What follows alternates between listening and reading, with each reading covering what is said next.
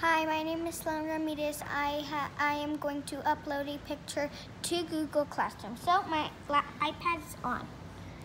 Then I'm gonna press pictures.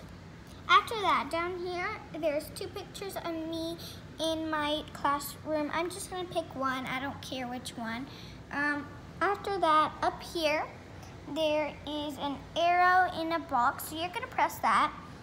Down here, there's a bunch of uh, thing, little notes and drive things. You're gonna press classroom for this occasion.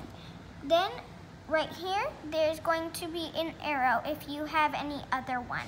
So I have music, so I want Miss Lopez because I'm not sending it to the music teacher, I'm sending it to Miss Lopez, so I'm gonna press that. After that, you're gonna press the first line. Which one did I do?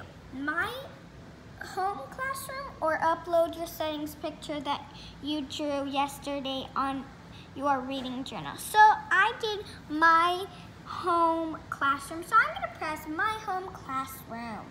Now, if you didn't do that homework, you press the other. one. Good. If you didn't want that picture, you should have pressed X. After that,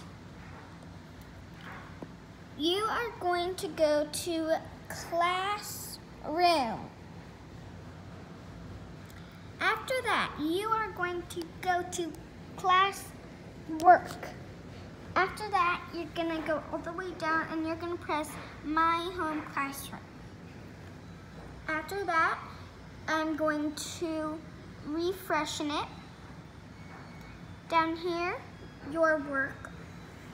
Up here, I am going to press turn in because I want to turn it in now. And then again, I press turn in. It might not happen on your iPad. But I don't know, folks. Now that is how you um, do it. That is how you upload one and send it to another one. Thanks for watching.